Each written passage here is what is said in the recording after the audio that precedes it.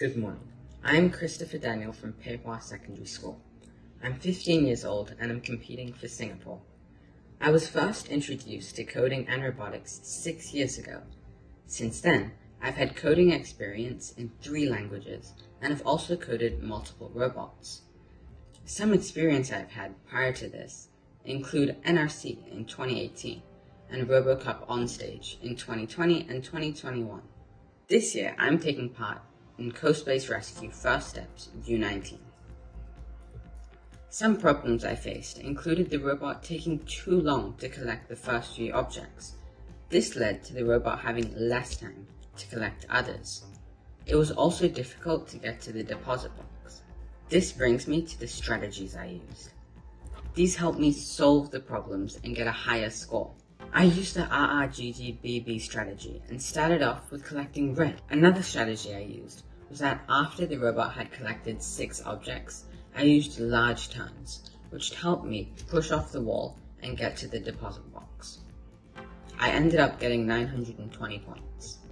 Solving these problems helped me do better in this preliminary round and get into the finals. One strategy that was extremely useful was the RRGGBB strategy.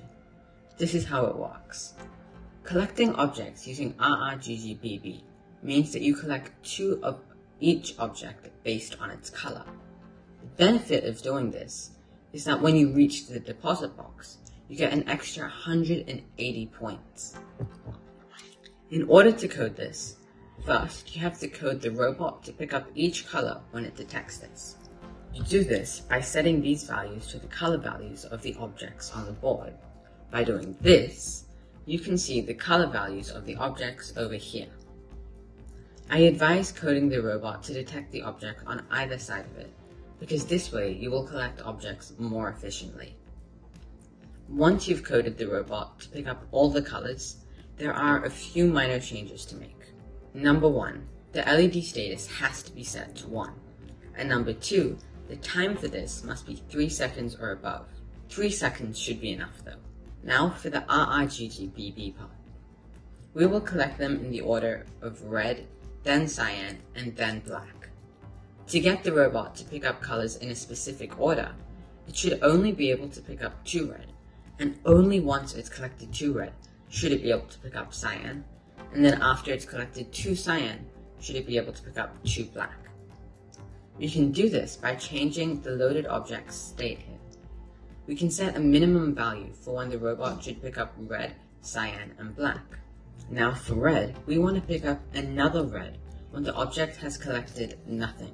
The reason we set the maximum value to 1 and not 2 is because if the robot can pick up an object when there are two objects, you will get three objects in total.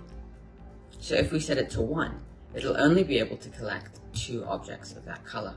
We can do a similar thing for cyan and black, but instead of 0 and 1 for cyan, we change the values to 2 and 3, and instead of 2 and 3 for black, we change the values to 4 and 5.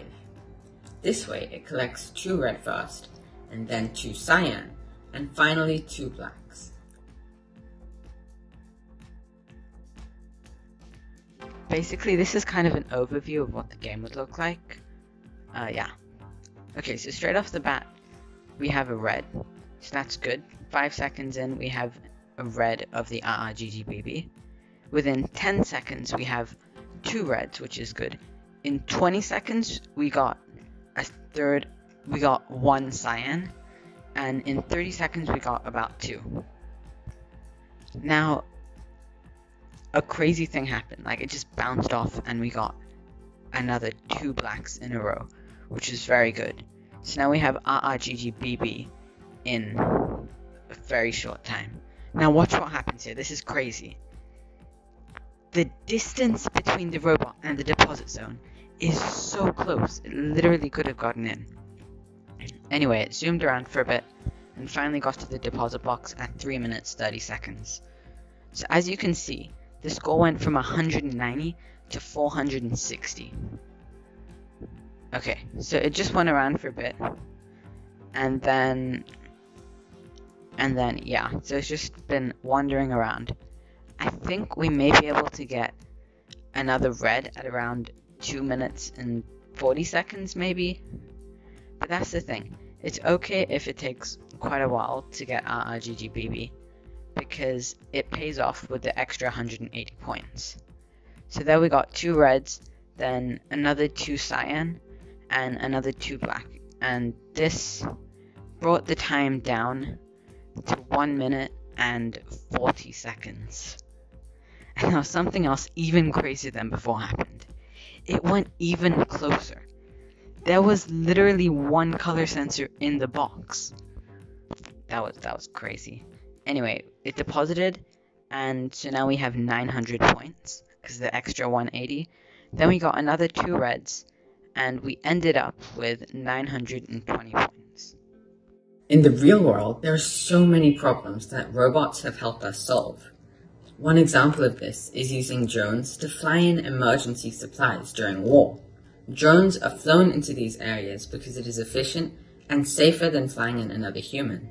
Through this competition, I've learnt about sensing colors from items, collecting them, finding deposit areas, and avoiding obstacles. All these can be used to help drones do a better job at delivering supplies. Sensing colors can let the drone know what type of terrain it is on, they can sense the color of the terrain beneath them and know whether there is safe land for them to land on. Collecting items can be used to collect supplies from one place, and depositing items can be used to deposit the supplies where the soldiers need them. Avoiding obstacles will help the drone to avoid buildings in its path, and natural obstacles like trees or mountains. A reason why this drone would fly so low is because it would make it harder for enemies to pick up the drone on radars. Thank you for listening to my presentation. It would help me out a ton if you could hit the like button below.